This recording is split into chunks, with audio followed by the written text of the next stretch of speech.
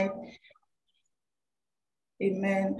So let's just lift up our praises to God. The song says, My praise is calling you. So if you haven't lifted up praise to God, then nothing is calling on the Lord. So tonight, let's lift up our voices and just praise the Lord. Amen. You haven't praised God by saying, Praise the Lord. Amen. You praise Him by actually using the words of praise, like thanksgiving, like acknowledgement. So, beloved, unmute your phone and let's just give thanks to the Lord, for indeed He is good and His mercies endure yours forever. Father, Lord, we say thank you. We are thank so grateful to be here and to be called your children. We thank you once again for an opportunity to just fellowship together you, as your thank beloved. but don't neglect coming together. So tonight we have hearkened to that instruction and we are here um, fellowshipping one to another, Lord. We have come to sit under the feet of Jesus and to receive from the ministration of the Holy Spirit. Lord, we say thank you for that which you have in store for us. Holy Spirit, we invite you and we say, come and us tonight. We just say thank you, Lord, for the, for the ability to hear, to listen, to understand. We thank you for wisdom, which is readily available to us daily. We receive it tonight by faith and we decree and we declare that we are not leaving this place the same. In Jesus' name, amen.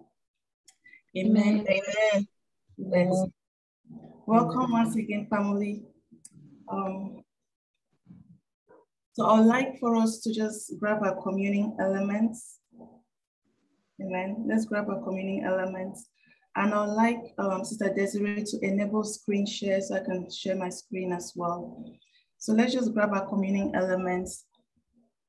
Tonight I'll be reading to us from the book of um, Hebrews, the book of Hebrews chapter 10 from verse 9 to 21. Hebrews 10 verse 9 to 21, amen. Let's see if I can do that. Okay, while I wait for her to enable screen share, I'll just go ahead and read for us. Hebrews chapter 10 verse 9 to 21. The Bible says, so friends, we can now without hesitation walk right up to God into the holy place. Jesus has cleared the way by the blood of his sacrifice, acting as our priest before God. The curtain into God's presence is his body. Amen.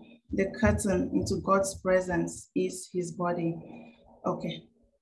Let's take a look at this scripture. This is what we're going to use to partake of the Lord's Supper. Thank you, sister.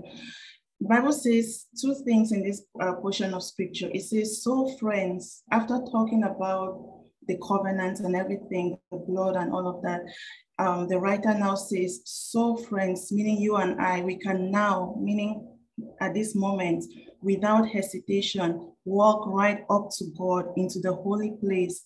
Jesus has cleared the way by the blood of his sacrifice, acting as our priest before God. The curtain into God's presence is his body. Amen. The curtain into God's presence is his body.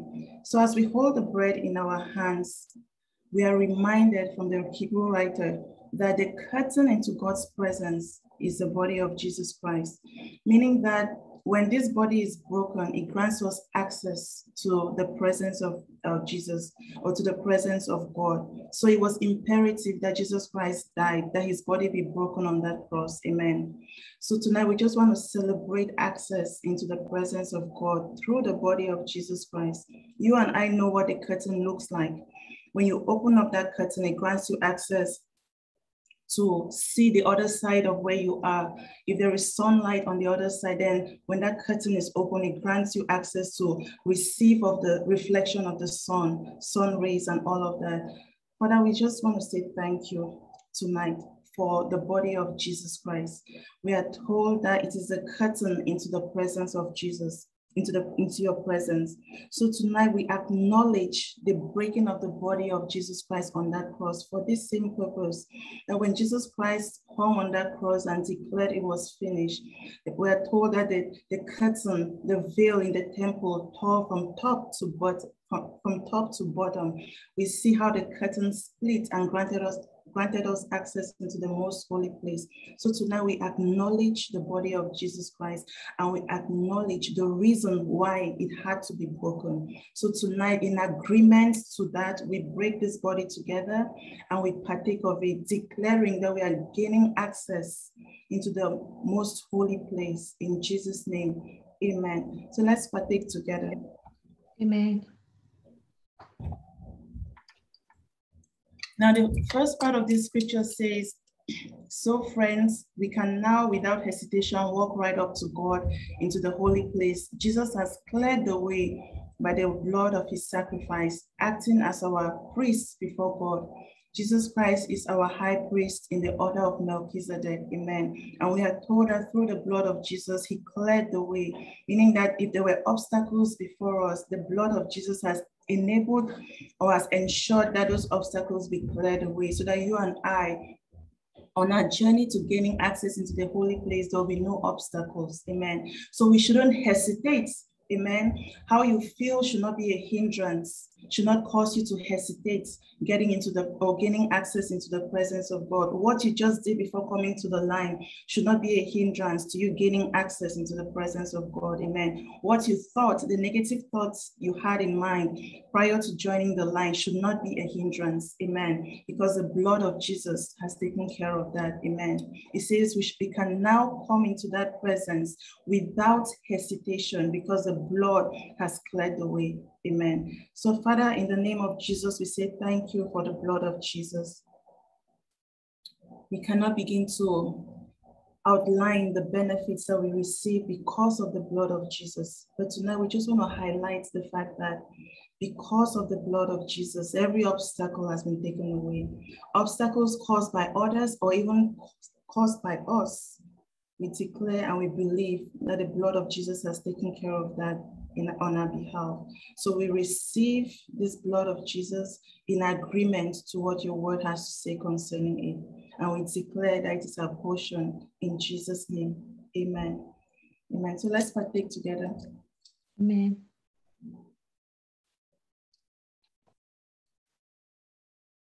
Okay, amen, amen. So, Father, in the name of Jesus, we just say thank you for tonight once again. Even as I pray these three scriptures over us, I'm going to pray to us, uh, pray for us tonight, even as we begin. We're still talking about um, the mystery of understanding. And while I prepared, I just, these three scriptures stood out and the Lord specifically instructed me to pray this over us. Let's never get tired of praying for wisdom and understanding. We need it desperately. Amen. So I pray for us using Ephesians 1:17, Philippians 1:9, and Colossians 1, verse 9. The Bible says, I keep asking that the God of our Lord Jesus Christ, the glorious Father, may give you the spirit of wisdom and revelation so that you may know him better. Amen. So I pray in the name of Jesus, just like Paul prayed for the Ephesians, that may the Lord continue to give us the spirit, give you and I the spirit of wisdom and revelation, so that we may know him better. Amen. If we know him some right now, there is room to grow and know him better. And it's not possible to know him better without the spirit of wisdom and revelation. So I declare that that is our portion in the name of Jesus. Philippians 1 9 says, I pray that your love will overflow more and more and that you will keep on growing in knowledge and understanding. So I decree and I declare that you keep on, we will keep on growing in knowledge and understanding. May we never despise knowledge. May we never despise wisdom.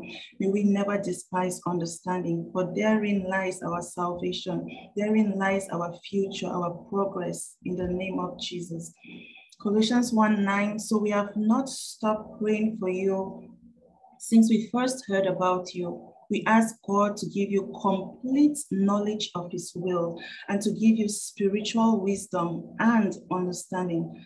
I decree and I declare that may the Lord give us complete, not partial, complete knowledge. May we endure to receive complete knowledge of His will and to give us spiritual wisdom and understanding. In Jesus' name, Amen. Amen. Amen. Amen. So, beloved, once again, welcome to tonight's meeting. We continue with part three of the mystery of understanding in the kingdom. Our base text, Luke 24, 44 to 45, the Bible says, Then he said to them, These are the words which I spoke to you while I was still with you, that all things must be fulfilled which were written in the law of Moses and the prophets and the Psalms concerning me. And 45 says, And he opened their understanding that they might comprehend scriptures. Amen. So we have come to receive understanding, even by understanding the mystery of understanding. Amen.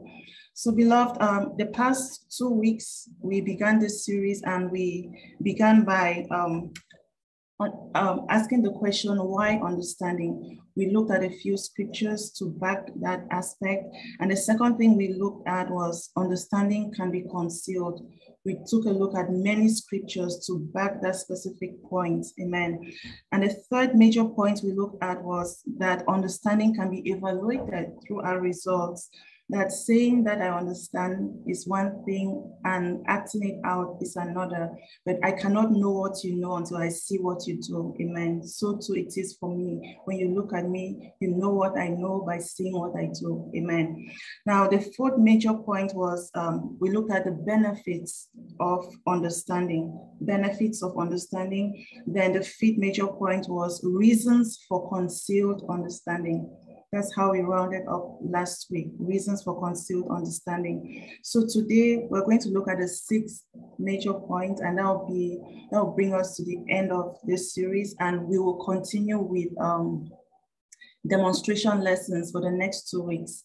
We're going to practice what we have learned and I'll explain to us later.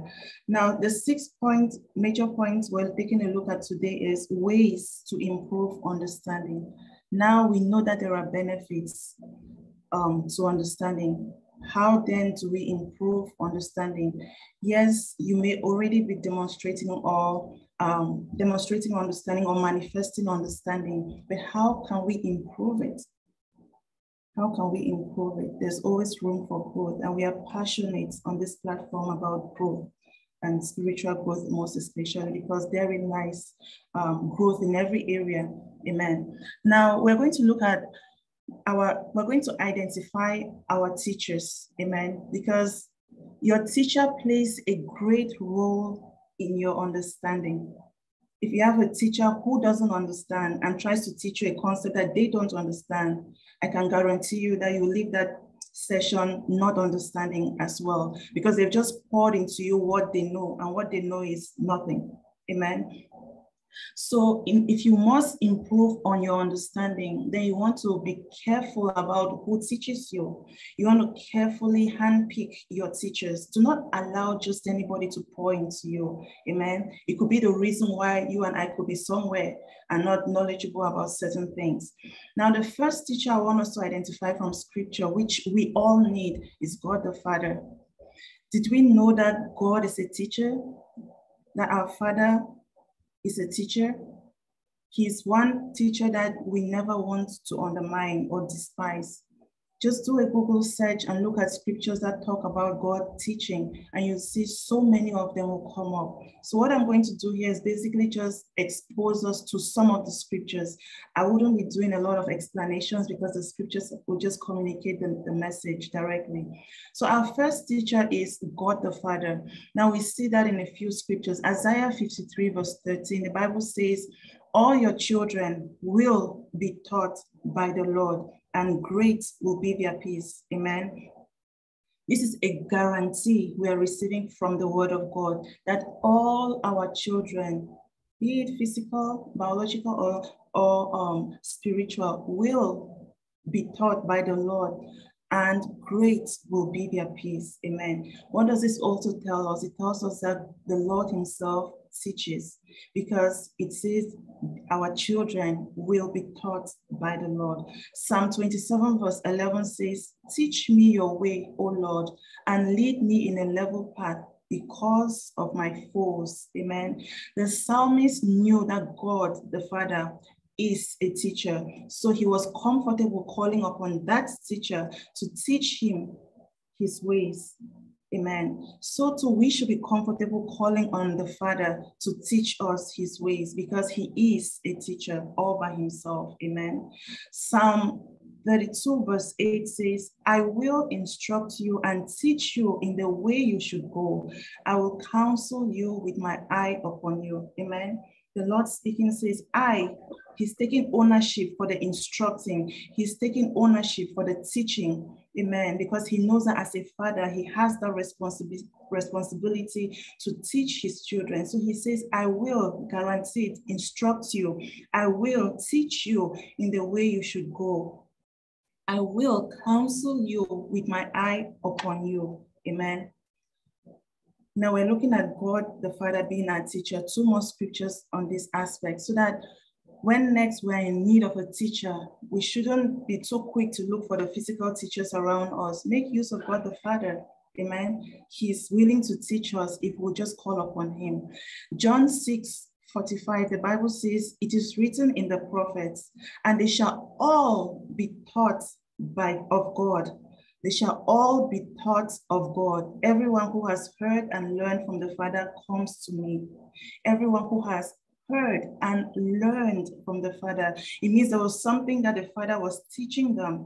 And as He taught them, they heard Him and they understood Him. Amen. So in the book of John, it stated very, very clearly that they shall all be taught of God. So tell us that God teaches, and when He teaches, you will learn something and you will understand Him. First Thessalonians chapter 4, verse 9. It says, Now as to the love of the brethren, you have no need for anyone to write to you. For you, for you yourselves are taught by God to love one another. For you yourselves are taught by God to love one another. Amen. So it is very clear that God teaches. But what amazes me about this particular portion of scripture is that, that God can teach you per topic. In this aspect, he's teaching you, he's teaching them about love for one another. So meaning that if you have need for a specific subject matter which you don't understand, you can go to him and say, Father, you have taught people how to love one another. So I need you to teach me X, Y, and Z, depending on your need. Maybe teach me about peace, teach me about patience, just whatever you are in need of knowing in that season. You can comfortably identify God the Father as one of your teachers and be sure that He will not just teach you broadly, but He will teach you specifically according to your need. Amen. Now, our second teacher is God the Son, Jesus Christ, the Word of God. Amen. The Bible says this in First John chapter 1, verse 9. Anyone who runs ahead and does not continue in the teaching of Christ does not have God. Whoever continues in the teaching has both the Father and the Son. The phrase of interest here is teaching, the teaching of Christ, meaning that Christ has a teaching which he's willing to teach people. Amen. But the question to you and I is have we submitted ourselves to the teaching of Christ? What can you and I show that this is what Christ has taught me? There is something known as the teaching of Christ. Why? Because Jesus Christ is a teacher. We saw him teaching throughout his walk on the earth as he as he as he moved along with his disciples. Evidenced by Matthew 11, verse 1. The Bible says, after Jesus had finished instructing his disciples, he went on from there to teach and preach in the towns of Galilee to let us know that teaching is not the same as preaching, but the goal is the same. Amen. Teaching and preaching are different. You can do both. Christ did both. But when it comes to teaching, let's teach. When it comes to preaching, let's preach. And like I said, the goal is the same. Amen. To help the body of Christ to come to the full knowledge of, of, of God. Amen. Luke 20, verse 1 the Bible says one day as Jesus was teaching the people, not preaching to the people, teaching the people and preaching the good news in the temple, the leading priests, the teachers of religious law, and the elders came up to him. Amen. Beloved, here are some, some of the scriptures um, that tell us that Jesus Christ is a teacher as well. God the Father is a teacher. Jesus Christ is a teacher. We are identifying our teachers. Amen. The third person on that list of teaching is the Holy Spirit Himself. Amen. The Holy Spirit. What will we do without the Holy Spirit? What will we do in this dispensation without the Holy Spirit? John 14, verse 16, the Bible says, But the Helper, the Holy Spirit, whom the Father will send in my name, he will teach you all things. He will teach you all things and bring to your remembrance all things that I said to you. Amen. We are identifying our teachers. We said God the Father. We looked at a few scriptures.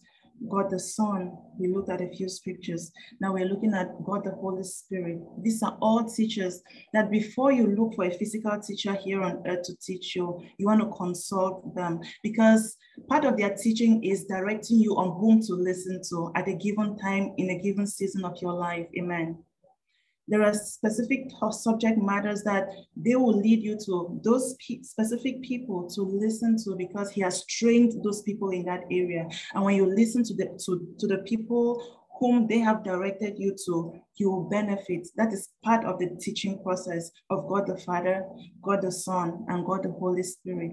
Amen. So I really call upon us. Um, there is no room for ignorance, beloved let's not give excuses why we don't know. We can never, we should not always be in a place where we don't know anything. Let's make efforts to know something about the kingdom. Let's make an effort to know about specific subject matters to the end whereby somebody can call you and say, please, I need help understanding this subject matter, maybe the covenant or the blood of Jesus. What do you know about it? Are you in position even now to teach somebody about the blood of Jesus? We break bread every day. Are you in position to teach anybody about the body of Jesus? We, we teach every day. Can you teach somebody about the benefits of teaching?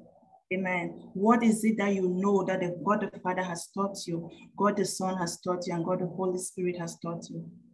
Let's desire to learn, let's desire to grow. Let's submit ourselves under the tutelage of the Father, the Son, and the Holy Spirit first before looking for physical teachers here on earth. Amen. Now we continue to identify our teachers. Now, one other source or the fourth person on this line, which you can sort after, are teachers of the word. Some people have been gifted with a gift of teaching. Not everybody who teaches has a gift of teaching, but we can all teach as disciples. Amen. And we will see that. Ephesians 4 11 to 13 says this from the NIV version. So Christ himself gave the apostles, the prophets, the evangelists, the pastors, and teachers. Do we see that? So this is the reason why he gave the fivefold ministries. To equip his people for works of service so that the body of Christ may be built up. So the role of the apostle, prophet, evangelist, pastor, and teacher is to make sure that the body of Christ is built up, not beaten up. Amen. To be built up, not beaten up. The stage it's a privilege to build up people, not beat them up. Amen. I have to really emphasize on that. Then verse 13 says, until we are we all reach unity in the faith and in the knowledge of the Son of God and become mature, attaining to the whole measure of the fullness of Christ. The goal is such that we may be built up and become mature. Amen. When you sit under a physical teacher or apostle or prophet or evangelist or pastor, the end goal of that time invested is so that you, you and I can become mature. It is a disfavor to anyone when you sit under a person and they just don't want you to grow for many reasons best known to them. And one of which could be, I don't want them to know what I know. Whose information is it? Is it our information or is it God's information? We are just vessels through whom the Lord wants us to equip other people. And as we equip them, they will, they will rise up to where we are, and together we can do more. Amen. So we're talking about, we're identifying our teachers, teachers of the word, people whom God has handpicked and appointed to teach the word, can help us on this journey to build us up so that we become mature. Beloved, do not sitting under a teacher should not just be an endless effort. Amen. There should come a time when you can say, I have graduated from where I used to be and I'm now at a different level. We never stop learning, but we should never remain at the same level. Amen. Evaluate your growth. If you sit under somebody for one year and you haven't changed, ask yourself a question Does the teacher have a problem, or am I just not receptive to the teaching? One person should be wrong, or both. Amen. So evaluate our, your growth. Let's evaluate our growth. Let's be autonomous about our growth. Amen.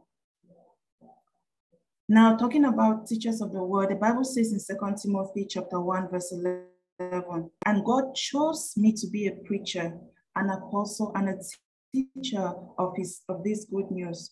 Paul, writing to Timothy, said this, meaning that to be a teacher of the word or to be a preacher or an apostle, you need to be have you need to have been chosen by God. Amen.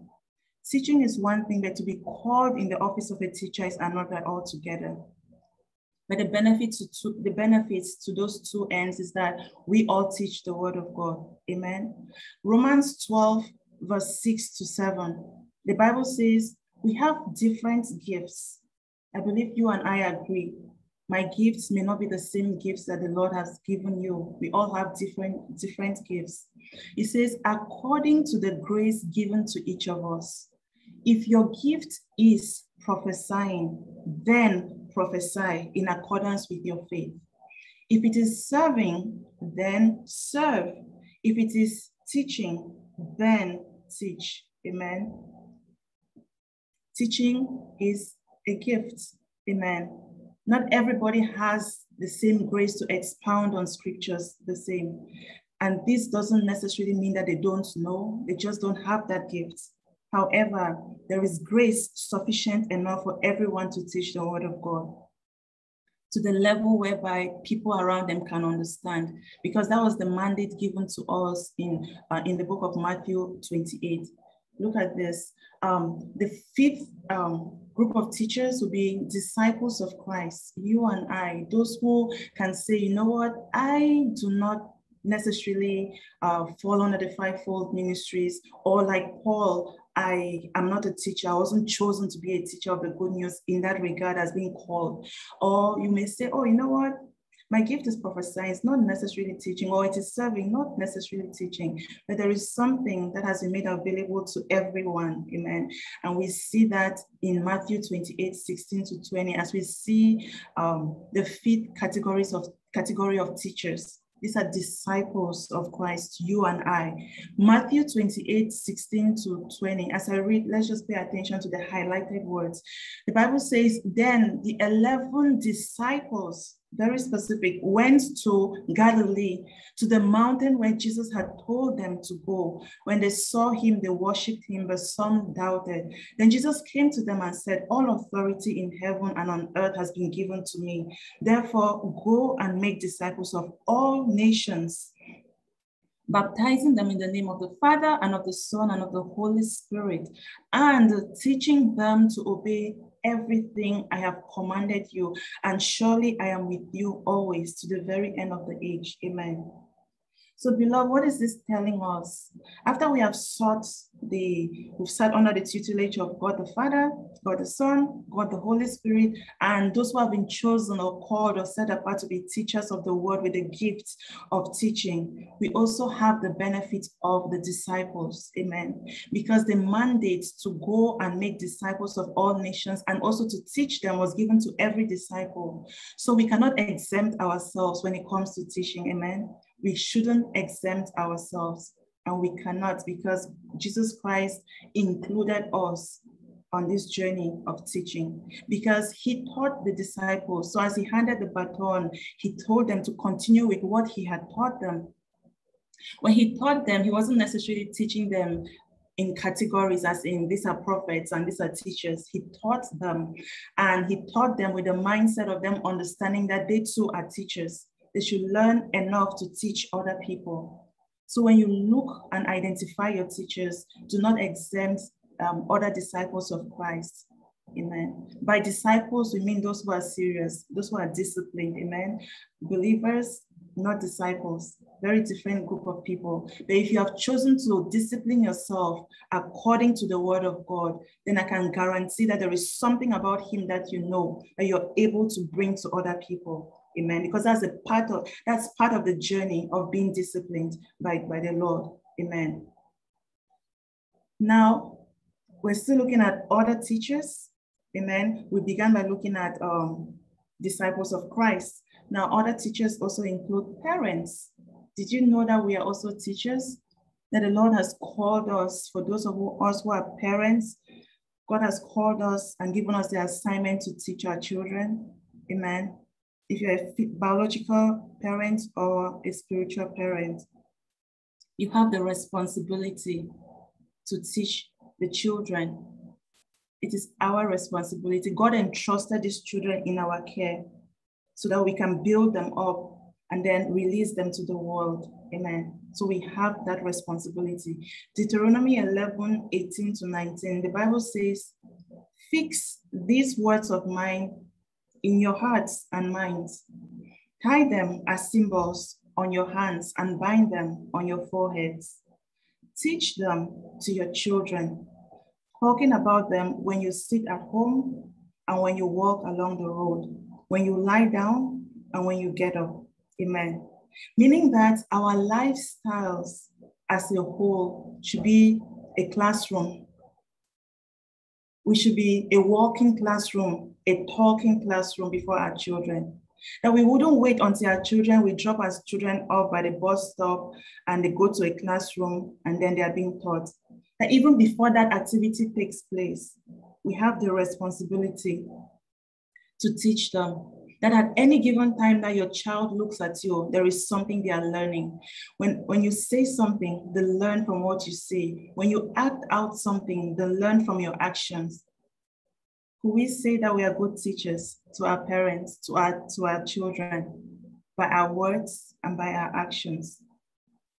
If we were to go from house to house this evening and just interview the children, in the different households represented on this line, would you say you've been the best example to your child or to your children? Yet the Lord entrusted you with this life, with this destiny. He trusted that you had everything that it takes to make the best out of this person. He entrusted that child to you so you can bring out the best in them and release them into the world to go and help other people. Are we fulfilling our assignments?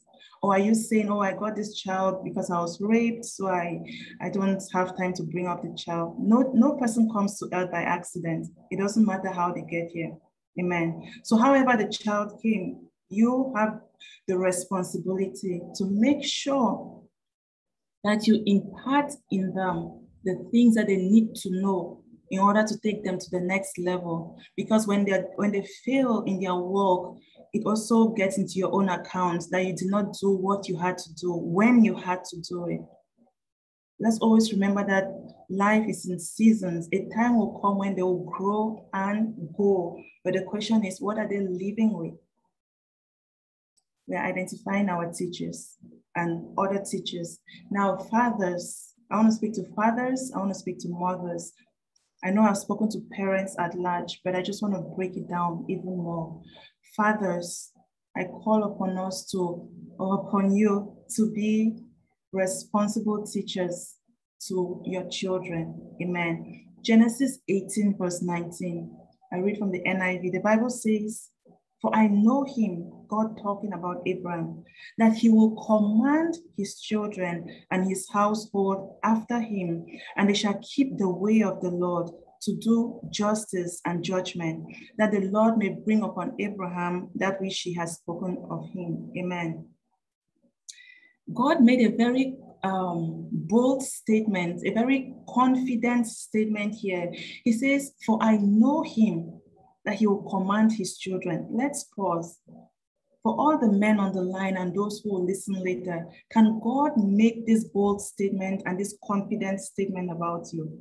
Can He say, For I know put your name in the blank, for I know this person that he will confidently command his children, not only his children, and his household after him.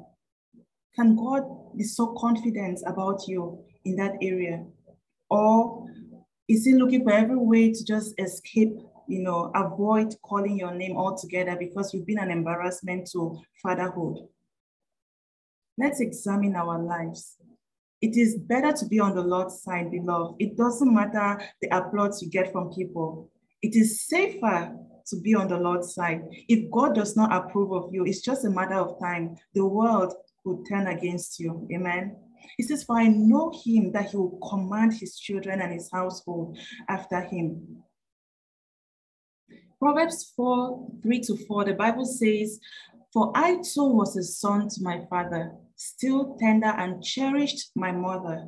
Then he taught me and said to me, Take hold of my words with all your heart, keep my commands, and you will live. The writer of Proverbs says something about his father. He says, For I too was, was a son to my father, still tender and cherished by my mother, just like many of our children are, or grandchildren are, still tender, still tender and possibly cherished by the other parent.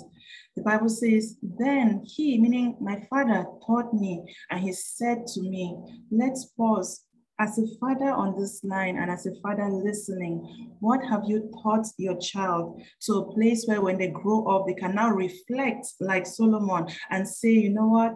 When I was a child, my father taught me this, and this is a lesson that has never left me.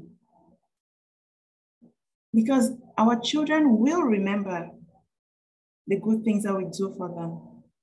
God is not mocked. Whatever we sow, we will reap. Amen. If you sow the word of God into your children, be confident that God is going to multiply that seed. That even as adults, they'll, they'll be able to look back and appreciate not just what they have received, but from whom they have received. Amen. So do not abandon the spiritual growth of your children to other people, fathers. That's all. That's where we are heading in, as when it comes to this particular point. If God entrusts a child to come through you, entrusts this seed to come through you, then He has also entrusted the spiritual well-being and welfare of that child into your care. And we will be doing that destiny a disfavor if we never invest in that life or if we abandon their abandon their growth spiritually, most especially to other people. Fathers, it's a wake up call for us tonight. He says, Then he taught me.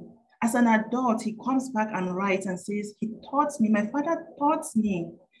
What, even as uh, the women on the line and the men on the line, what has your father taught you? Can you say that your father taught you anything spiritual, more specifically? Then he taught me and he said to me, That's the reason why we need to be correcting the mistakes and not just be held captive by the mistakes of our parents, but to right the wrongs as we move forward with the next generation. Tell yourself it ends with that generation. It doesn't even continue with me, and it wouldn't cross over to the next generation. You can choose to stand as a wall and refuse some of those arrows from crossing over. God can help you because He has girded us with strength for battle. Amen.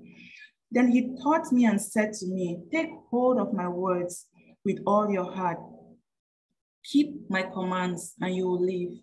To be a father, let's say this to be a father is not just when you bring a spirit, a seed to the earth, a child. Amen. It's more than that. After the child has come, there are other responsibilities that still fall under the cap or the hat of fatherhood. When we say God is my father, we can now say, This father teaches me. Now you are a father to X, Y, and Z. What have you taught them? Amen. Let's look at mothers. Proverbs 31, verse 1, the Bible says, The sayings of King Lemuel, an inspired utterance his mother taught him. Amen. You know, quite often we read about the Proverbs 31 woman, and every woman wants to be like that Proverbs 31 woman, or they think she's just too much. And every man who wants to get married wants a Proverbs 31 woman. But did you know that Proverbs 31 was written by a man? This is how much a man knew about a woman. Why? Because a woman, a mother, sat her young boy, young son down and said, My son, I'm going to teach you something. Even in the area of women, I'm going to teach you. So that when you, in the future, when you grow up and you're looking for a wife, you have a script, something to go by, something like a guide to guide you on this journey as you look for a wife. Proverbs 31 is written about women, but it was a mother's script to her son. A mother's script to her son. What have fathers written and handed to their daughters? We so desire to be the Proverbs 31 wife, but this was a man receiving a lesson for the woman. As a woman, have you received the lessons for the man? the sayings of King Lemuel, an inspired utterance his mother taught him. The mother was not random about her teachings to him. She was very specific. Talking about the woman was just one aspect, because prior to that, she talked to him about not getting drunk. Perhaps she knew that this man was going to be a king. So she said, it's not, It's not for kings to get drunk, um, um, King Lemuel. It's not for kings to get drunk and to go after women and to not seek justice. So she encouraged him on the aspect of drunkenness, on the aspect of, you know, justice and the aspect of women, because women will bring kings down quickly. So she encouraged him in the area of his calling. This is an encouragement to parents, fathers and mothers, more specifically. We have some work to do. Amen. Now we've identified our teachers. We've said our teachers include God the Father, God the Son, God the Holy Spirit. It also includes parents, fathers, mothers, disciples as at large, and also teachers of the word. Amen. That was the first point. Now, the second major point is um, another way or ways to improve understanding will be to identify the significance of the role of teaching identify the significance, the importance of the role of teaching. If you, if you and I never sit down to evaluate why teaching, why should I, um, is teaching really important? How will teaching contribute to my understanding? If we never answer that question, we will never get to a place where we can endure hours of teachings. Or when we hear that this person is delivering a word, we are so eager to go and listen because we have not yet come to a place where we really appreciate the benefits of the role of teaching.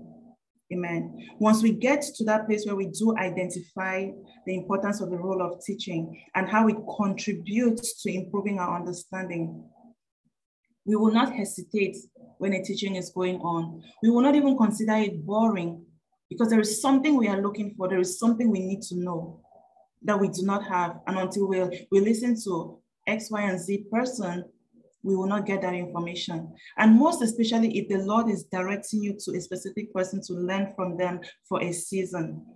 It is humility to do so. Amen. We'll have to lay aside our ego and just do it because God may be equipping you and He just found that vessel fit enough to equip you for that season. So it will not be a lifetime thing. So just endure that season, learn, and then move forward. Amen.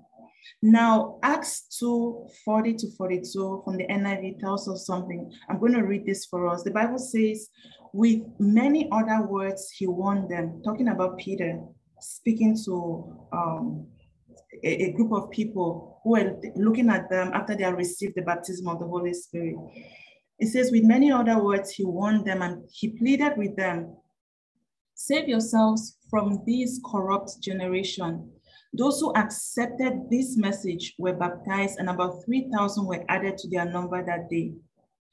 42, the Bible says they devoted themselves to the apostles' teaching and to fellowship, to breaking of bread and to prayer. Amen. What do we see here? People have been saved they've received salvation, they've been baptized. And now the very first thing that we are told that they do is that they devote themselves to the apostles' teaching. There were many other things that came after. but priority to them was to devote themselves to the apostles' teaching because in it laid their growth, their maturity, their building up. It was priority. Amen. So when you think about the role of teaching in improving your understanding, I want us to first of all understand that it is priority to submit ourselves to teachings. Amen. So that we can grow. Because what will teachings do? Teachings will tell you the how. Preachings will tell you the end results, but teachings will give you the step by step. Look at how we labor through many scriptures, five different scriptures, just to explain one point. Do we see the difference? But if you're receiving a teaching, a preaching, it should have been over by now. Over, I mean, really over. Because the goal is to just highlight and then take it to the end. But a teacher needs to be patient to walk you through step by step. Yes, the Lord says that salvation is for me. But what is salvation? In a, an evangelist will lead you to Christ, you receive salvation a, a, a, preacher or come and, or, or a pastor will come and preach to you about the benefits, you know, how this package is so full, you can benefit from it. The question is how? Then a teacher comes in to show you how. And that's why you labor through many scriptures just to understand how. We have the promises all listed here in the Word of God for you and I. And some of us have never benefited from those promises because we don't know how to. The how of a thing is very important to us. It is even most important to the Father that we know how. Amen. So these people devoted themselves first to the apostles' teachings because they needed it. They knew that it was very important, important in their in improving their understanding. Now, what is another um, significance of the role of teaching? We see it in Psalm 119, verse 130. The Bible says, the teaching of your word gives light, so even the simple can understand. Teaching gives light. Teaching of God's word will unveil light to us and to the place where the simplest amongst us will understand. Sometimes you attend services and people just use some terminologies the justification of the blood, you know, the, the, the redemption of the blood and the omniscience and omnipresence, all those vocabularies. Now, a new believer will hear it and know that it is spiritual, but what does it mean? It is not in the preaching that you hear all the breakdown of all those things. It is when you sit down under the tutelage of God the Father, the Son, and the Holy Spirit, and they start breaking it down for you. Or you sit down under the uh, tutelage of a teacher or disciples, and they break it down to you. Then you'll be like, oh, so this is what they meant. You know, this is exactly what they meant. You talk about the remission of sins. All those words sound good, but what does it mean to you? But the teaching of the word of God unveils light so that the simplest in the crowd understands. It doesn't benefit us when we come and proclaim the good news and no one understands. And when you don't understand, do not blame it all on the person delivering the word. Go and do due diligence to find out exactly what they are saying. Because when we don't understand, we don't benefit from it. Amen. We don't, because we don't even know what's happening. Second Timothy 4, 2 to 3, still talking about the significance of the role of teaching. The Bible says, preach the word of God, be prepared whether the time is favorable or not. Patiently correct, rebuke, and encourage your people with good teach teaching. Patiently. It takes a lot of patience, beloved, to be a teacher of the word of God. Amen it takes a lot of patience because your goal is not just to come and dispense knowledge, it's so that the people, after having listened to you, understand. You're trying to improve understanding for people. So you have to be very patient, very patient. Amen.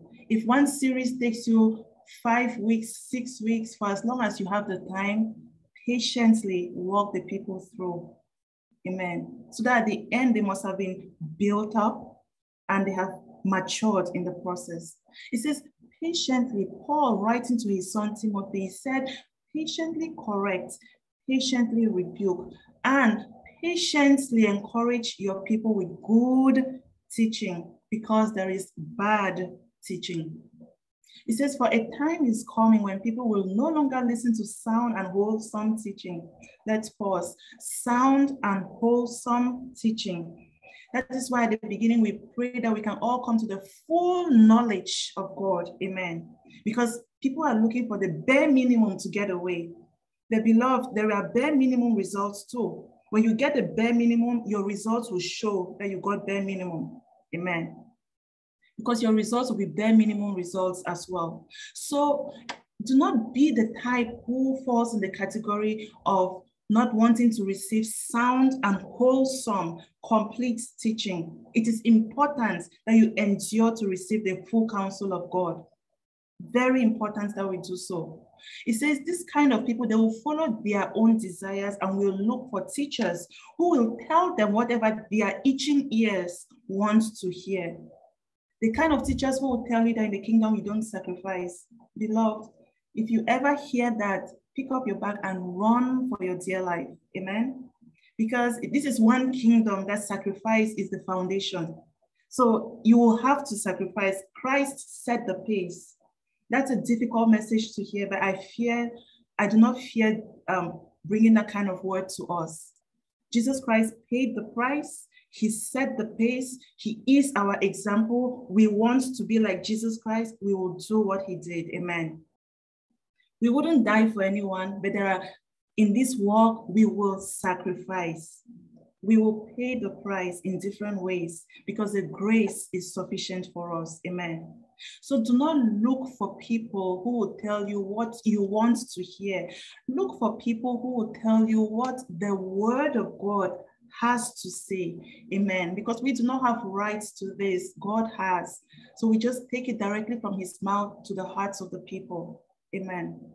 We're identifying the importance of the role of teaching. We said that it is priority and it unveils light. And now we are saying that it, it, requires a lot of patience to dispense this word. And it is for the purpose of correcting, rebuking, and encouraging people. Amen correction, rebuke, and encouragement. Amen. Now, the third way to improve understanding is to have an in-depth or to do an in-depth study of the Holy Spirit. By the grace of God, we'll embark on this journey next year to do an in-depth study of the Holy Spirit. Amen. Because it is through the Holy Spirit that our understanding improves as well, like we saw at the beginning.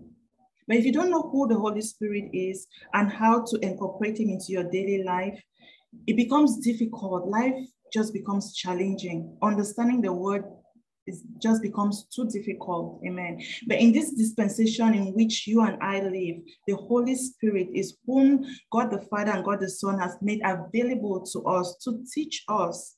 And the Bible says in John 14 26 that, but the helper, referring to the Holy Spirit, the helper, also known as comforter, advocate, intercessor, counselor, strengthener, standby, all of this is the Holy Spirit, whom the Father will send in my name, in my place to represent me and act on my behalf. He will teach you what? All things, and he will help you remember everything that I have told you. Amen. This was Jesus Christ then speaking to his disciples. Amen. If I were to read this now, I'll say, let's begin from here. The Holy Spirit, whom the Father has sent in the name of Jesus Christ, will teach you all things and will help you remember everything that Jesus Christ has told you. Amen. So his role is present and it is active. When Jesus Christ spoke then to his disciples, he said, because at that time the Holy Spirit had not yet come. So he said, Whom the Father will send, but whom the Father has sent, because the Holy Spirit is here and now. Amen. So when you do an in-depth study of the Holy Spirit, you get to understand his role, you get to know how to incorporate him into your daily life, and you get to seek his counsel, and he will teach you.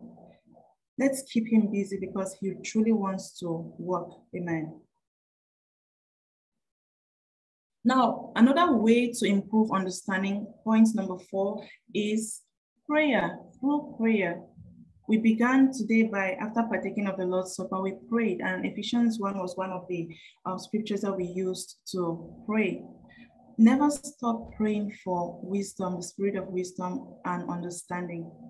It should be amongst the many things we pray about, should be part of that list of things that we so desperately desire to have and, and, and operate in.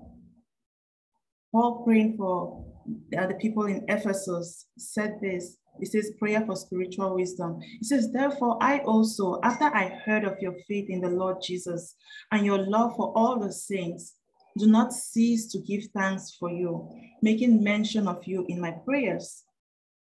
So Paul said he heard about their faith in Jesus Christ and how much they loved one another. And because of that, he, he prayed a prayer of thanksgiving to God, making mention of them in his prayers. And this is what he said in his prayer that the God of our, our Lord Jesus Christ, the Father of glory, may give you, give to you the spirit of wisdom and revelation in the knowledge of him the eyes of your understanding being enlightened, that you may know what is the hope of his calling, what are the riches of the glory of his inheritance in the saints. Beloved, I smile here because Paul has heard about the faith of people. He has heard about how much they love each other. Yet, this is a prayer that he prays. If it were you and I, what would we be praying about? We'll be like, thank you, Lord, that they love each other. Thank you because their faith has grown. In Jesus' name, amen. And the case is closed. But Paul went further to teach us that when you hear that people are growing in their faith in the Lord and they have love for one another, pray for them in this regard.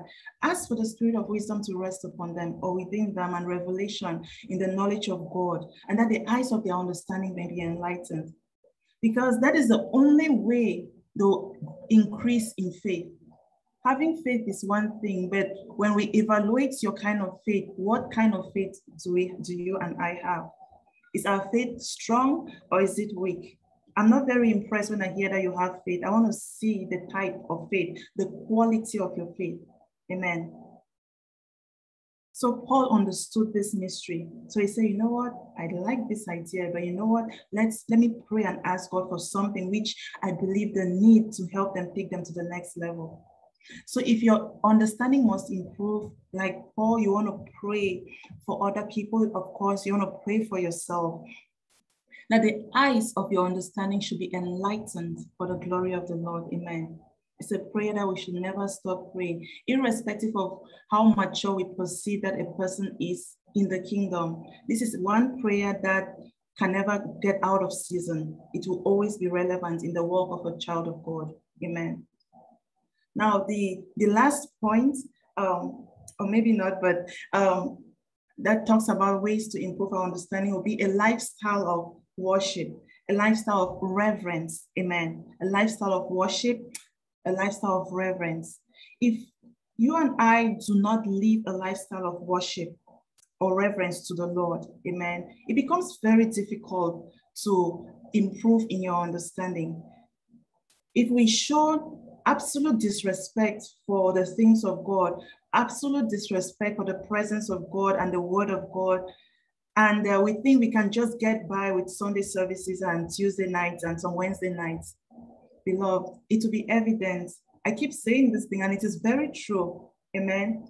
I keep saying it because I don't want us to forget. When we play games, you're not playing games with the people who, with your leaders, it is with yourself. Amen. You're not hurting anybody.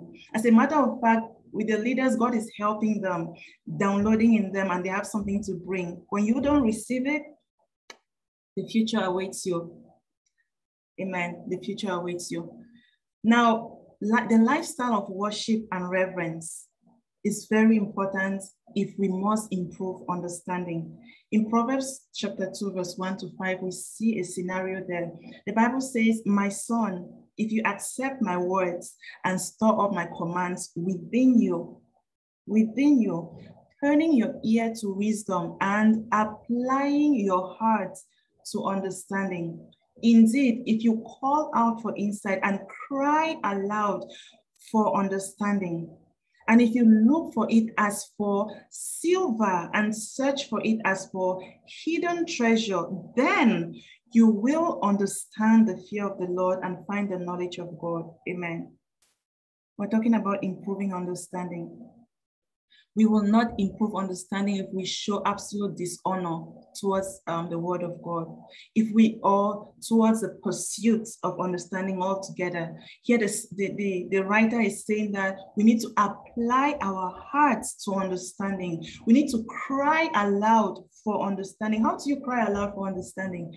It's very easy. Just pick up your cell phone, call somebody. You know what? I have read this scripture. I just don't understand. Can you help me? That's crying aloud for understanding. We can cry aloud for understanding by our actions. You go on Google, the Bible talks about salvation. What is salvation? Jesus Christ is my Lord. What does it mean to be Lord? You Google, you look for preachers, people who have spoken about this. Your actions are crying out, crying aloud for understanding. Do not be the kind of Christian or child or disciple of Christ whereby you read something you don't understand, you just close the Bible and keep it. You say, oh, I'll wait for the pastor to explain that on Sunday, if they even get to it. Amen. Another question.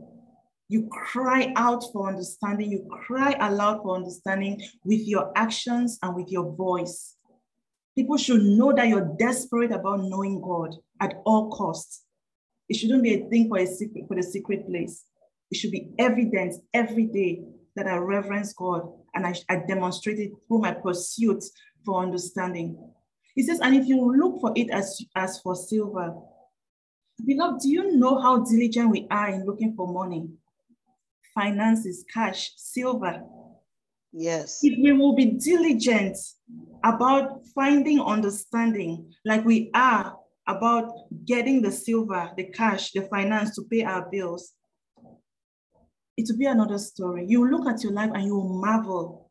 Amen. You marvel at how much the Lord will download into you. He says, if you will, amen. If you will, if you look for it as for silver, amen. It did not even say that you should look for it as silver. It's a suggestion. And beloved, I always tell people if the Bible suggests, I follow it. I don't need it to be an instruction. If you just suggest, through scriptures, I just obey. He says, if you look for it as for silver and search for it as for hidden treasure, do you have a gold jewelry or a very precious diamond? For most women, your wedding rings, how expensive and how much your husband's invested in it. Has it ever gotten lost? Think about how you searched for that, that ring day and night, sleepless nights. Just think about it. Do you do so for the word of God? Do you have sleepless nights because of the word? Do you have sleepless nights because you did not understand a scripture in your life? You know what? I'm not going to bed tonight. You keep searching, like the, the, the, the, the, the woman who lost her coin. She kept sweeping to find out where is this coin. How, how, how diligently do we sweep the word of God to find that which is, seems to be hidden, that treasure that seems to be hidden? Then he says, when you do so, then you will. Beloved, never read verse 5 without reading verse 1 through 4. You will not get the point. Verse 5 is only as relevant as verse 1 through verse 4. He says, when you have done all of this, then you will understand the fear of the Lord. Could that be why some of us do not understand the fear of the Lord? We think serving God is a child's play. We think we are doing other people a favor when we serve the Lord or when we fear God. We just want to display certain personalities when we see people we haven't gotten understanding, and it will be evident one day. Amen. Until we do this, then are we going to understand the fear of the Lord? It is no child's play.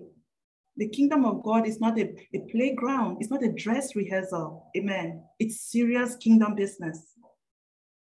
And until we get to a, play, to a place where we are desperate for understanding and for wisdom.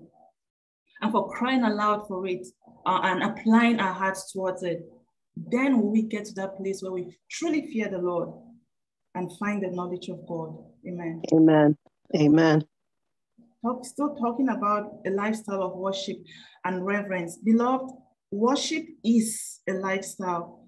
By God's grace, before the end of this year, we'll talk about worship and praise most specifically. Worship is a lifestyle. It's not necessarily just singing. Worship is not limited to singing. It is part of what you do when you worship. When you talk, you're worshiping God. How you look is worship unto God. Amen. So that's why we talk about lifestyle of worship and reverence. How you treat people is worship. Amen. What you think about people is worship. Your attitude towards God is worship. So the Bible says here in Proverbs 25, verse 2, we're talking about ways to improve understanding. And we say a lifestyle of worship and reverence is relevant. And we looked at Proverbs already. Now, uh, Proverbs um, chapter 2, verse 1 to 5. Now we're looking at Proverbs 25, verse 2. It says, God conceals the revelation of his word in the hiding place of his glory. But the honor of kings is revealed by how they thoroughly search out the deeper meaning of all that God says. God conceals the revelation of his word in the hiding place of his glory. There is a place known as the hiding place of God's glory. Amen. And until we show absolute respect for it, will always be um, limited in understanding. Beloved, you can wear understanding like a garment. You can wear it, and when you wear it, it will be evidence that you have it.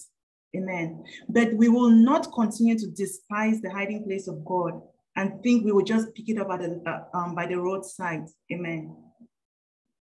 God can so dress you up with the spirit of understanding to a place that even you will be so overwhelmed by the goodness of God.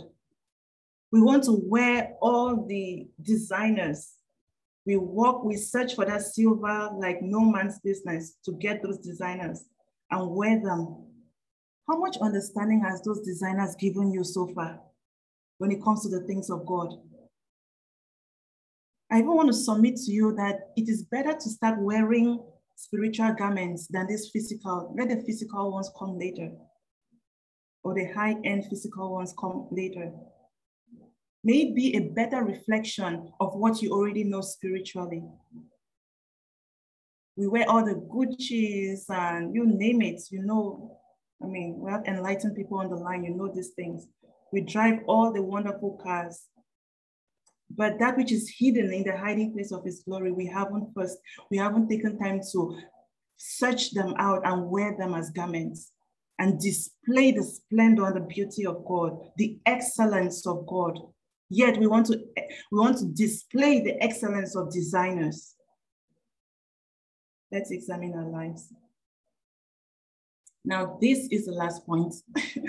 Living a joy filled life, amen. Living a joy filled life will help us improve our understanding. Living a joy filled life. When a person is um, sorrowful, when you're down, it's difficult to benefit from the revelation of God. Because what is happening there is that you've been surrounded and enveloped by darkness. And that's what the enemy wants. He wants us to be perpetually sad because in the sadness, we wouldn't have the grace to even the energy to pray or the desire, I would say, to pray or to praise. Amen. However, that is the time when we should be praising even more to dispel the darkness and you know all the sadness that the enemy has just placed upon us. That's the time to rejoice or to play the praise songs such that it takes us out of sadness to a place of joy. Amen. But until we get there, if we keep living in sadness, we will not enjoy the, the light of God.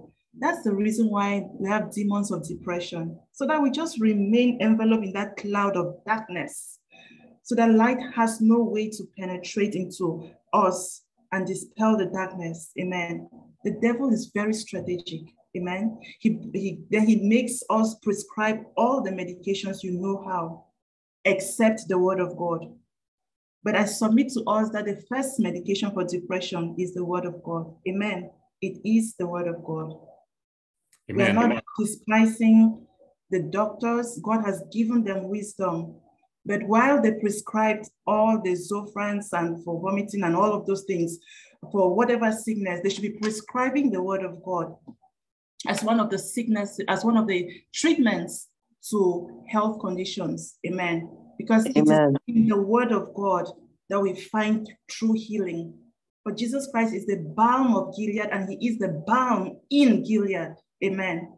The Bible tells us in Isaiah 12, verse 3. Um, I'm going to read this from three translations the Passion Translation, um, the New International Version, and, and the Douay-Rheims. The Bible says, With triumphant joy, you will drink deeply from the wells of salvation.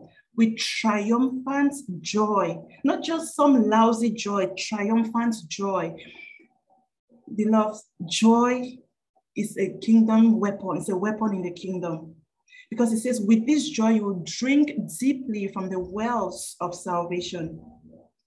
Now, to really understand this scripture, look at salvation as a gift package, or look at it like a well. In the well, you have water, or in a gift box, you have gifts in them.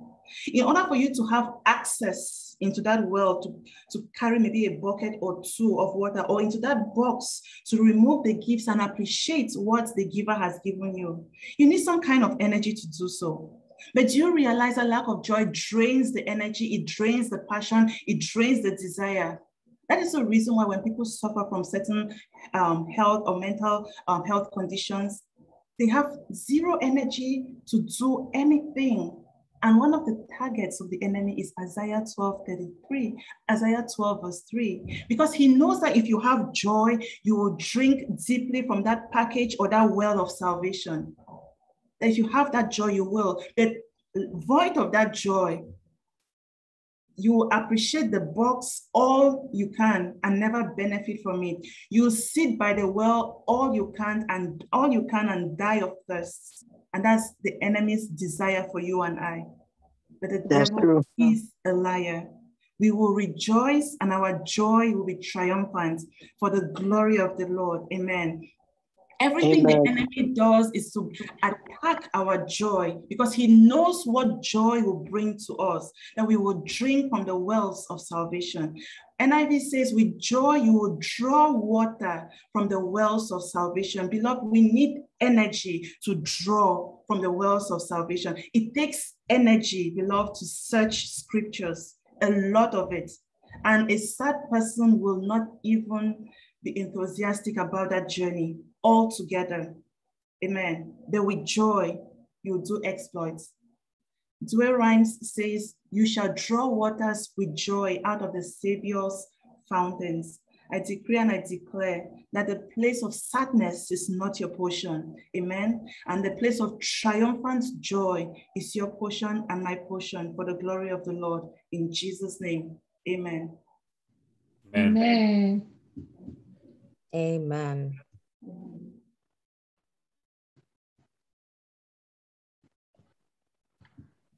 Beloved, the floor is open for us.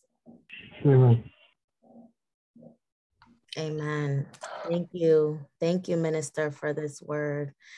This just um it it it hit like at the the door of my heart. It hit so personally tonight uh, because uh just kind of getting a little bit a little personal i guess earlier today because i had so many days off from work from my being sick. Today i had to go take something into work. Before i left and i was looking around like oh do i have is there anything else i need to you know am i missing anything? When I looked on my desk, just making sure I wasn't leaving anything, my communion cup stuck out like a sore thumb. I mean, it was like big red, red, red, just huge. I knew God was pointing it out to me take communion. And I must be honest, I hadn't taken it in a couple days. Um, so I went and I, I, I began to take communion, and then I heard in my spirit, go take communion with your son when I went to go take with him before I left, I said, "Go ahead, babe. You leave. You lead communion." And he was he was playing a game or something. So he began to start communicating. He just started rumbling through it, quick, quick, quick, quick, quick, trying to just get through it.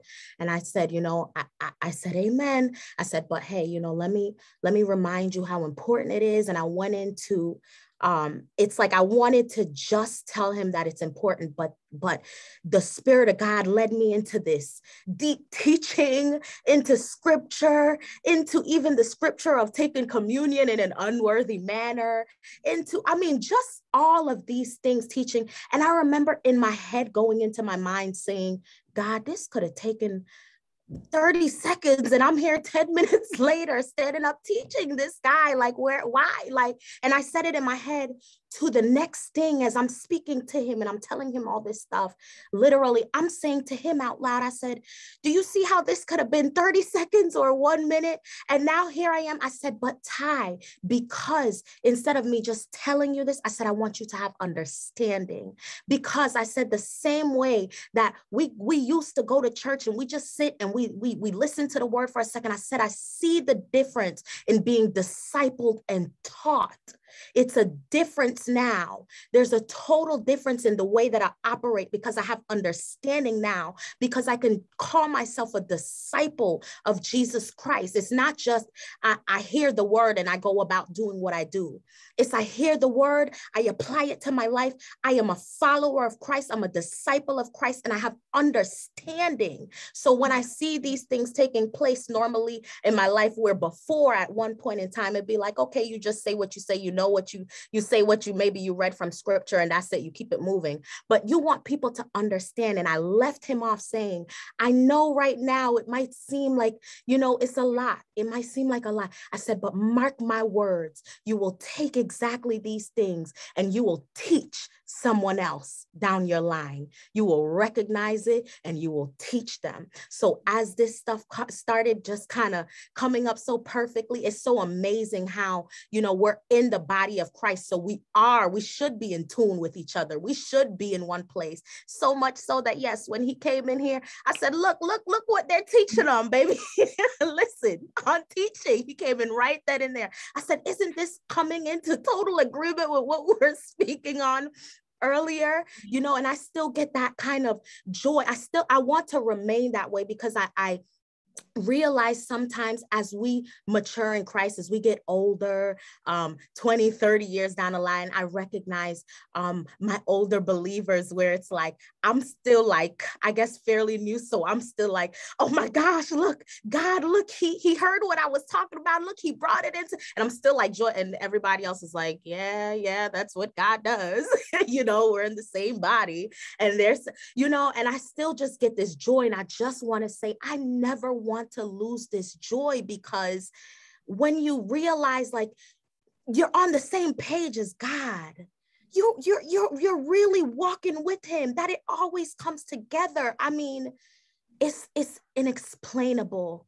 It, it is such a joy that you cannot even explain. So when I heard you start to speak on this and teach on this and the understanding, even though I know it's a continuation of last week, um, just to know that it was I was in tune. Just to mm-hmm. know that I was in tune with it, I'm so grateful. All glory to God, and thank you for always being in tune, Minister Mildred. Amen. Glory to God. Amen. Amen. Amen. Amen. Amen.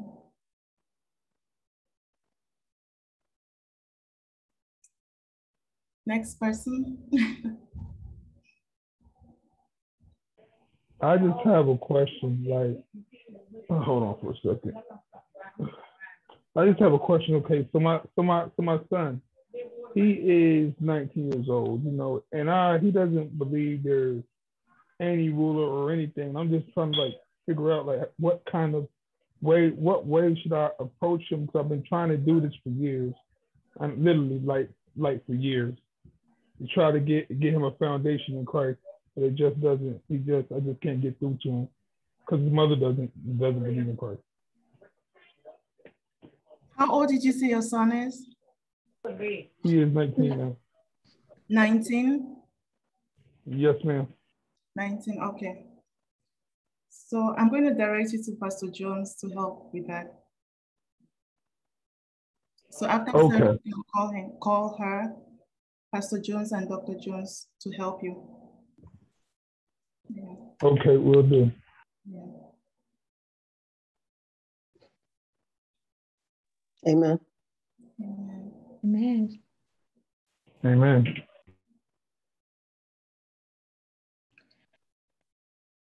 So any other thoughts? Yeah, I can go um, and next. You know, thank you so much, um, Mama Mildred, again for the t- for the for continuing to teach us about you know wisdom and understanding. Um, and uh, as you were teaching, uh, it, it reminded me. It, this was just really uh, uh, towards the end of the workday, maybe around you know five o'clock, and I've had a good day so far. And this email came, which just kind of really turned me down. And uh, I just had to remind myself that before I respond to that email, that I, I need to pray for wisdom and understanding, and kind of really understanding where that message was coming from, that person, before I can you know, respond to that message. And uh, to just, again, uh, turn to God, asking, uh, because as you said, you know, you're not gonna, sometimes we can be dependent to another human being, our teachers, and think, oh, maybe I'm gonna need to talk to this person to figure out how I can respond and forget that, you know, you have God right there, you know, as your teacher, you know, God the Father, God the Son, and God the Holy Spirit, so that you can ask uh, for um, to teach you and to give you wisdom and understanding um, in everything in every situation. So um, I decided not to respond to that email. I just went and made dinner and started making dinner. I said, you know, I will come back to that, you know, after. And I haven't gone back to that. But, you know, I think by the time I go back to that, I will have more, um, again, wisdom and understanding in terms of how I respond. Amen. So thank you. Thank you for sharing. Rushing to start typing and responding in a you know in a maybe defensive way because you felt like the email was attack you know the person was attacking you Right. Amen. The Lord is going to give you wisdom on how to respond. amen amen Amen. Amen. Amen. Thank you so much, Mama Mildred, for tonight's teaching. Uh, my takeaway, just really to piggyback off Sister Dima, what really stuck out to me is, um, you know, when you highlighted that uh, in in the body of Christ, some are born with the gift, right?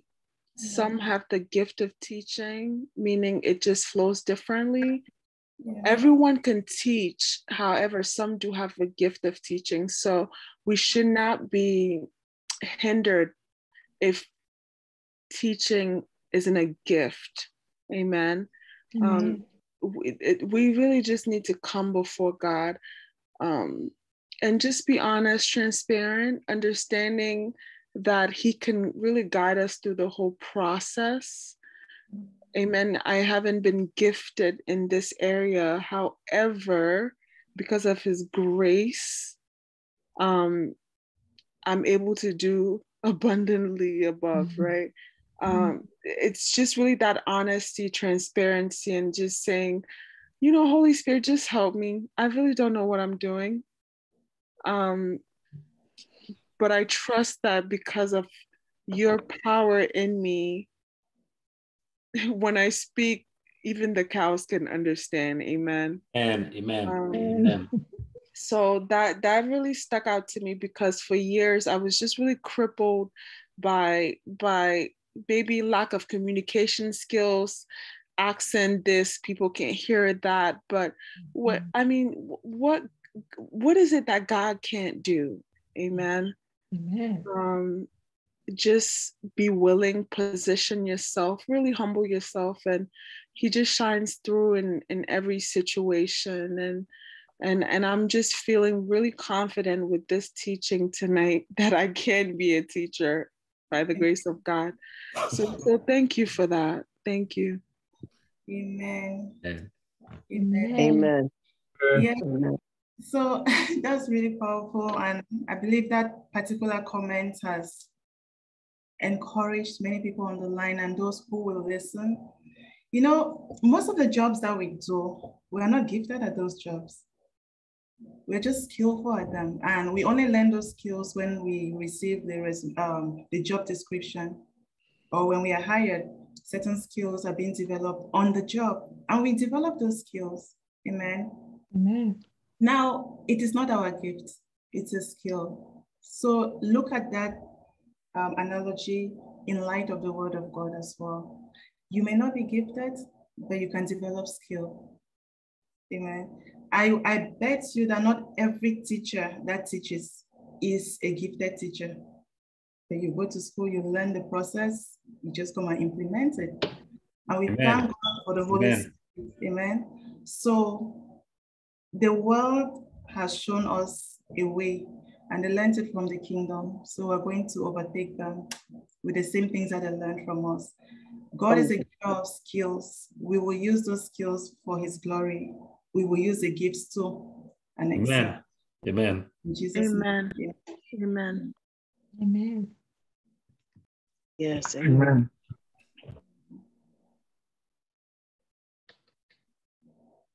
Any other thoughts?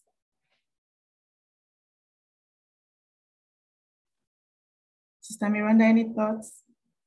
Brother Allen and wife, Brother Kingsley and wife, Sister Erica, Sister Coco and son, Dennis and family. Hi everyone. Um, I wasn't able to really keep up like I usually am on Tuesday and Wednesday nights, but I do because I'm working, you know. But I do plan to go back and watch this over. And I did hear something about um depression and how the enemy will use depression to keep us to keep the light from coming in.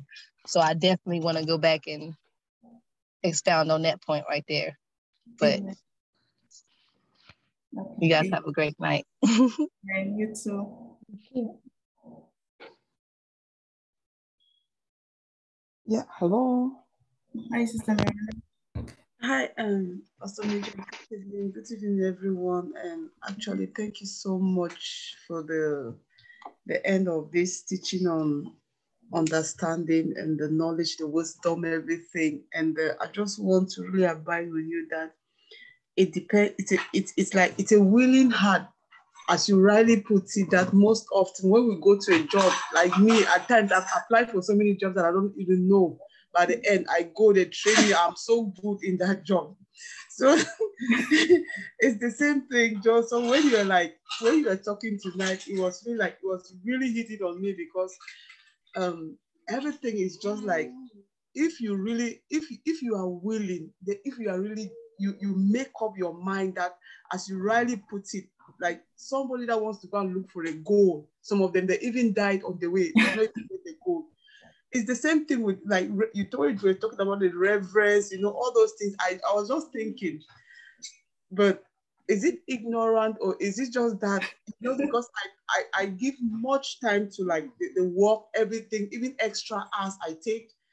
But when it comes to the things of God, I just want to hurry, as that sister she was saying that at times I do communion also very fast, fast, fast, hurry, but I don't. That's you are not rever. You are, you are not like reverencing God. You are not fearing God when you are doing it in that manner. You know, but all those things, you know, with so much when you're talking so much guilt. I blame myself. I don't even blame the word of God. It's me. It's me. I do really blame myself. So it's just a matter of really like have to reflect and really take a decision on it. So um, I just want to really say thank you. And as you rightly put it, looking at it, the five-fold ministry, yeah, I know um, they said um, all of us have been given like uh, to be, become a disciple. Everyone is there in the Bible. but we can do the five-fold, the, the discipleship thing. Even if we have not, we are not being called like the teacher, the prophet, whatever, but the discipleship thing, it's open, it's free, it's it's it's there. So um, I think um, it's just to sit, to really sit up and then with the help of the Holy Spirit and really make up my mind to, yeah, to embark on the on, on the journey. But it's a journey, it's a process. Amen. So thank you so much. Thank you so much. Glory to God. Amen. we'll take one more comment and then we'll get into prayer if there is any. Uh, uh, good evening. Mm. Yeah, Good uh, evening. uh, yeah. I just want to um, uh, um, uh, to come back a little bit on uh, uh, Sister Tristan uh, comment. Yeah, um, yeah, that was a great comment, and um I don't know if I didn't hear you well. Uh, at the end, you you you said that uh, you are not a great teacher, something like that. That's what she Is that, is that a question for me? Yes, there's a question. Yeah. Yeah, Thank you for asking. Please, thank you, Brother Allen. yeah. uh, yes. Um, okay. The, the the reason why because when you say that, um, it kind of uh, hit my spirit a little bit, and uh, uh, sometimes it's difficult for us to know who we are. You know, is uh, um, mostly other people who can say, you know what, um, uh, you are gifted in this, you are gifted in that, you are gifted in that, you have um, this potential, this potential, this, this potential. That's true, real true, because um, uh, a few years ago, many people came, told me that uh, I'm gifted to um, leading people. Say what? What? Many people, different people, leading, leading, leading. Say what? What? I, I, I don't recognize myself on that. I don't recognize myself on that. Um, just to say what? Just to say that um, um, uh, um, uh, you are gifted. You are gifted on teaching. You can be surprised. You can be surprised um, uh, later, maybe in the near future, but I'm telling you, you are gifted. So don't uh, underestimate yourself and just work on it. Just work on it, and you will see you are gifted. Amen. Amen. Thank I you for adding your I voice to us. We have taught her, brother. Thank you for adding your voice. I concur. together. Exactly. Amen. I love to hear Sister Christine, whether she's teaching or she asks questions, her questions are always lined up just right. And even when she speaks, uh, when she teaches. So, um, again, even what was said before with the skills that we learn on the job, Yes. you know, a lot of times you can go to college and you can get a degree Yes. in whatever it is that you went to college for, but that does not make you skillful in that yet. You're not, you're not um, gifted in that area yet, or the gift haven't been manifested yet. So Yes. now you're on the job and you're practicing, you're doing it every day, and you're you're being exposed to that particular thing more and more. And the more you are exposed and the more you do it, the more it comes out. And then people will see like, wow, this person was actually born for this. you know, Yes.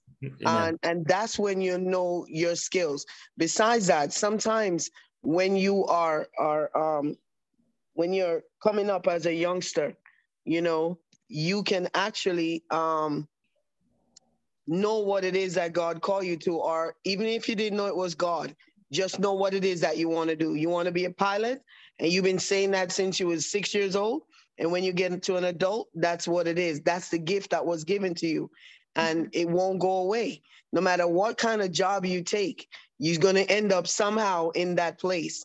So it's just a matter of us allowing ourselves to be exposed to what it is that we um we are called to. It could be a desire we have, not knowing that that's a call. But once you get in there and you begin to work at it, you will see that that's what it is, and and you will enjoy doing it. It will be a pleasure for you to do that because it's something that was already the seed that was planted in that gift was there. So I I concur about Sister um Christine most definitely. Amen. Amen. Amen. Amen. Amen. Thank you Amen. also for that wonderful contribution. And by the way, she's teaching tomorrow, so let's show up on time. Amen. Amen. Amen. Amen. Yes. Amen. Yes.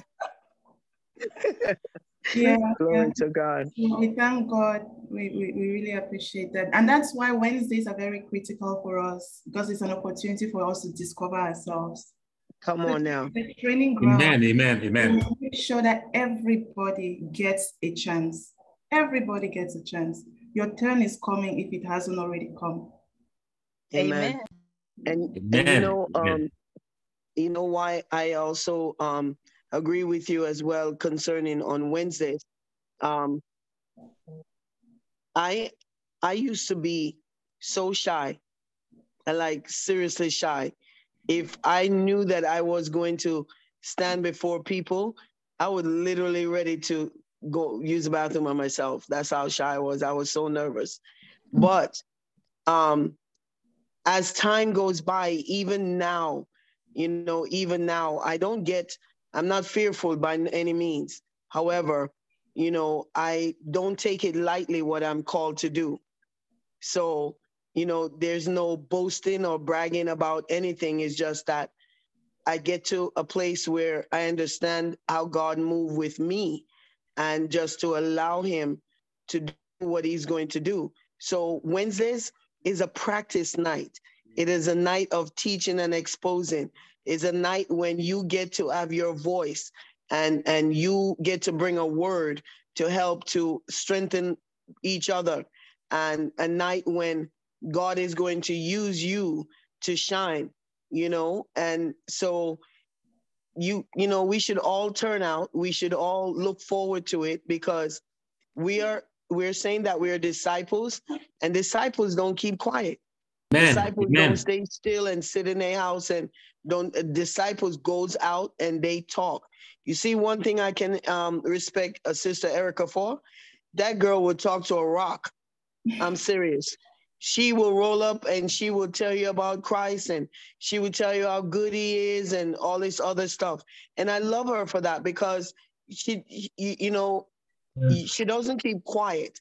And there is no way, no way you can say that you're a disciple and you're not speaking or sharing or, or, you know, talking to somebody. So Amen. this this Wednesday night is a night of experience, a night of exposure, a night of us coming together in the unity of the faith. I love it.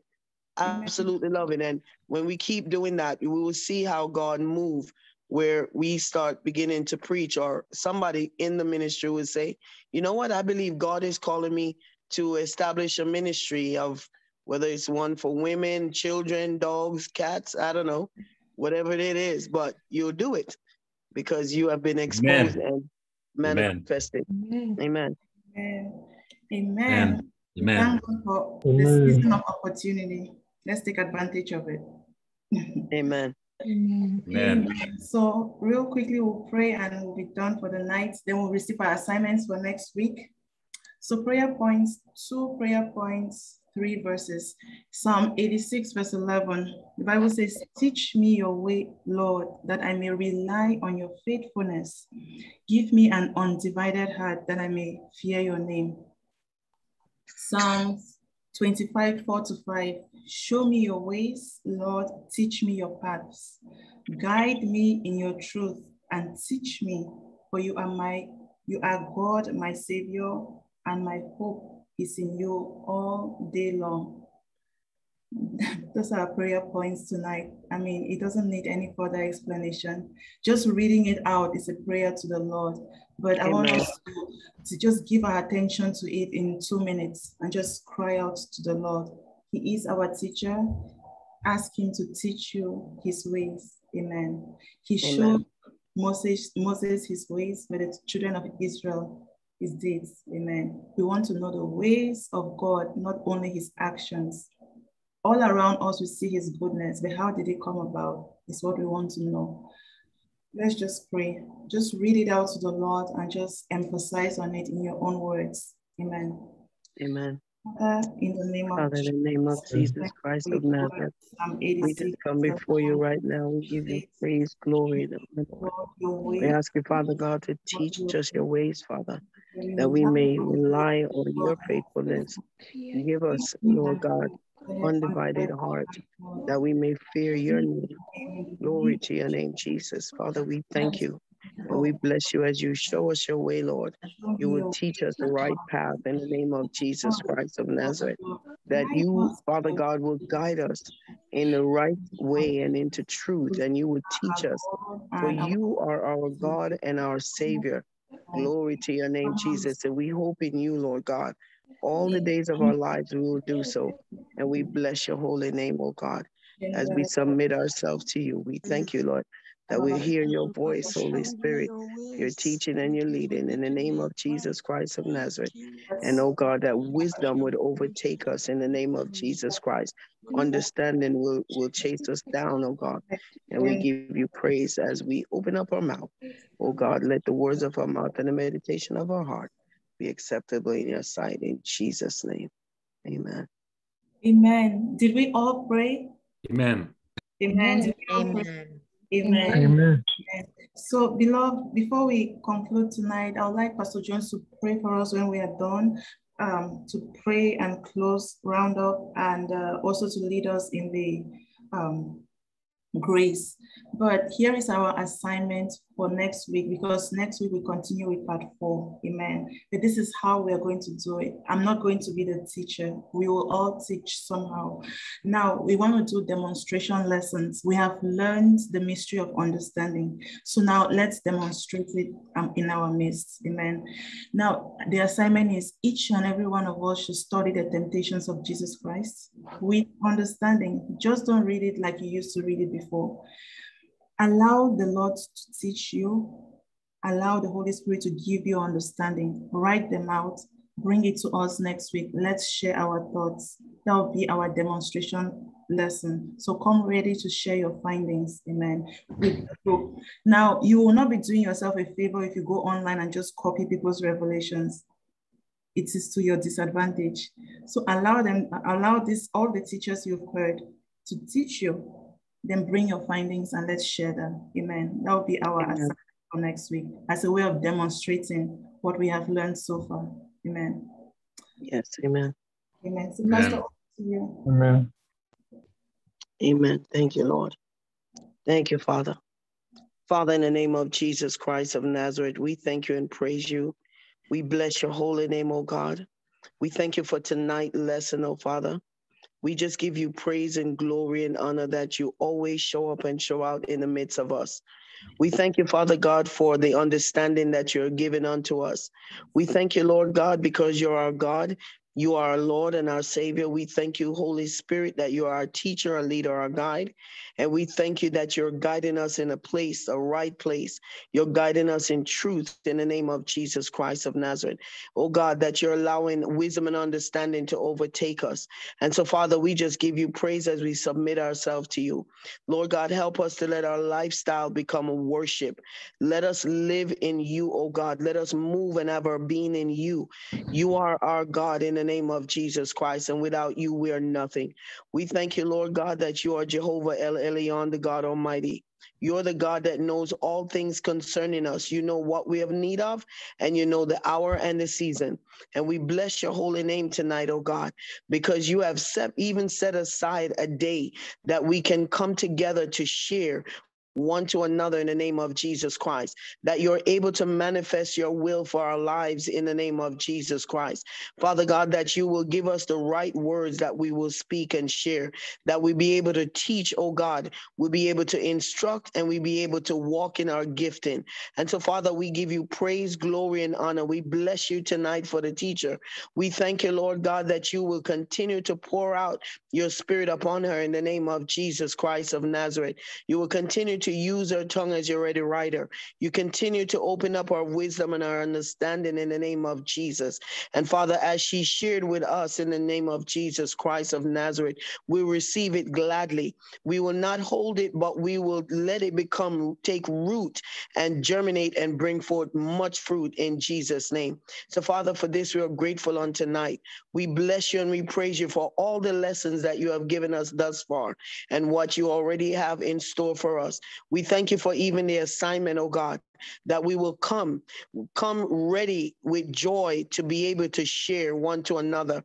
And so, God, we give you praise. We bless your holy name as we leave this place, but not from your presence. We ask you to cover each and every one of our homes in the name of Jesus Christ with the blood of Jesus. Allow no weapon that is formed against us to be able to prosper in Jesus' name. I thank you, Father, that in each and every person on the line right now, oh God, whatsoever they touch, we will prosper in Jesus' name. And I thank you for the wisdom and understanding that you're going to bestow upon them as upon us, oh God, as we go into studies for what it is that you have given unto us. And we bless your holy name. Thank you, Lord. And these things we ask not amiss, but according to your word in Jesus' name. And so we'll say the grace.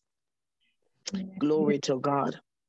May the grace of our Lord and Savior Jesus Christ the love of God and the sweet fellowship of the Holy Spirit rest, reign, rule, and abide both now and forever.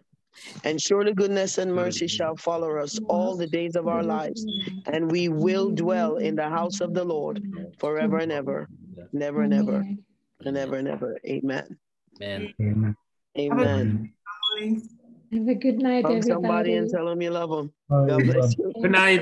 Good We night. love you too. We love you. Good night. Good Amen. night, Amen. everybody. Brother Bye-bye. Gaius, Good we'll talk. night. Amen. night. Bye. Night. Sister Des, I see you. End recording. Pastor Jones, Amen. Pastor Jones. Why you ain't call me back, Pastor Jones? Huh? Why you ain't call me back, Pastor Jones? When? I'll talk to you later. Love y'all. Good night. All right, love you too. okay.